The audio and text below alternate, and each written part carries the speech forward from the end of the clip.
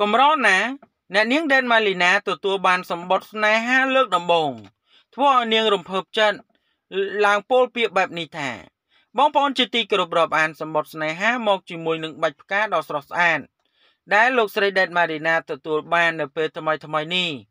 ដែលធ្វើឲ្យនាងរំភើបចិត្តញញឹមខ្ជិបតែម្ដង ជាពិសេសរឿងរ៉ាវដែលកើតឡើងនៅក្នុងក្រុមគ្រួសារគាត់នៅពេលកន្លងទៅបងប្អូនមហាជនប្រកាសជាបានជ្រាបហើយ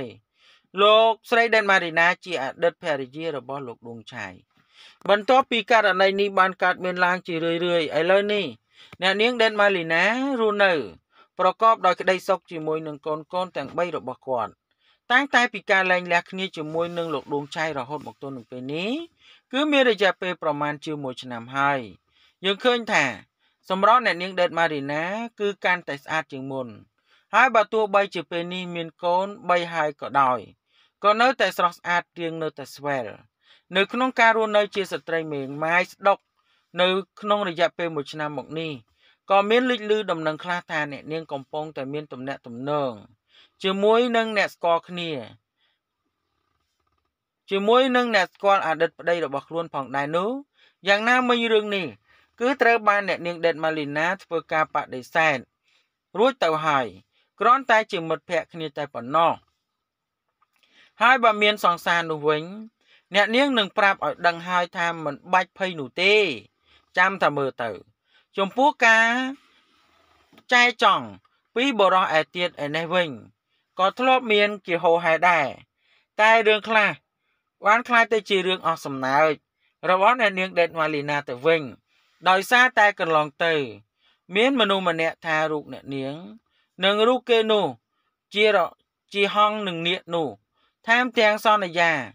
មិនអោយអ្នកនាងយំថែមទៀតផងទោះបីជាបែបនេះក្តីអ្នកនាងដេតម៉ាលីណា ធ្លាប់ទទួលបានសម្បត្តិ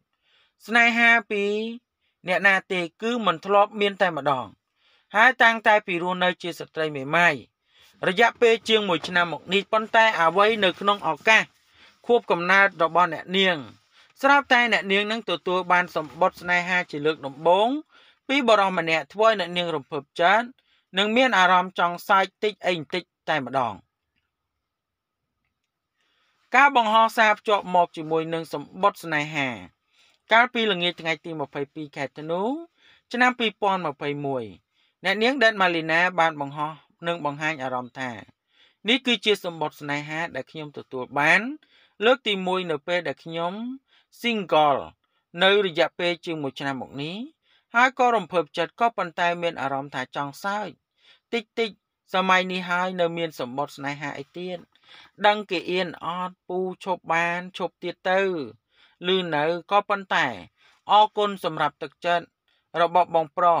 ដែលស្រឡាញ់ប្អូនស្រីម្នាក់នេះទី21ខែ12 2021ឃើញបែបនេះអ្នកគ្រប់គ្រងលើកឡើងថា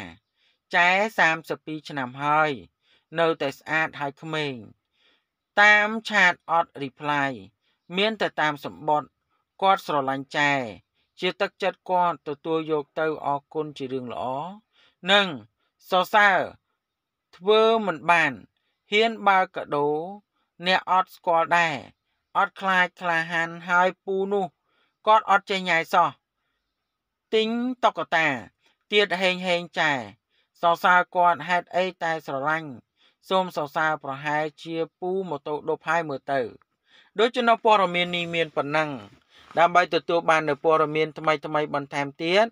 សូមមេត្តាជួយ Subscribe និង Like